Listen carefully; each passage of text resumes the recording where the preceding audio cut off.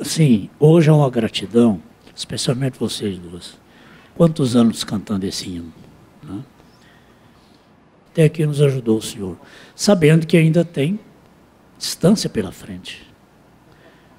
Se nós nos alegramos aqui por 27 anos, 10 anos, 20 anos, 27 anos, 43 anos na mensagem, mas ainda tem distância, ainda tem lutas, ainda tem lágrimas, ainda. Agora, pense que alegria vai ser, né, Vanete? Mangil. Já pensou? Eu falei aqui no culto, aqui, despedida aqui. Que gozo será, né? Eu, eu disse, os pais, sobre o amor dos pais com os filhos. Nós lemos aqui, a mãe estará lá com seus filhos. Eu falei, não me faça pergunta. Falei para a igreja, estou lendo, o profeta diz, e é isso aqui, ó. A mãe não será completa lá, seus filhos. Você não gerou filho para o diabo, não. Ainda que ele esteja na mão do diabo por muito tempo, não vai ter por todo o tempo.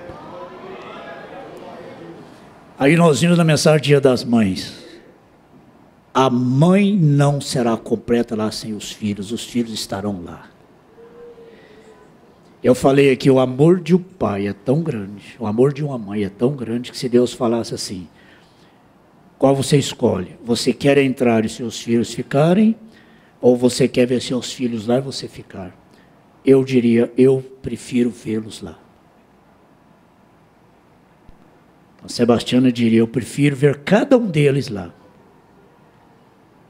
Cada pai aqui diria a mesma coisa, não diria? Ainda que eu fico fora, mas eu vendo meus filhos lá. É. Todos nós estaremos lá. Amém. Então isso faz a gente cantar com tanto regozijo. Faz. Vamos, vamos cantar com gratidão mesmo. Vamos lá.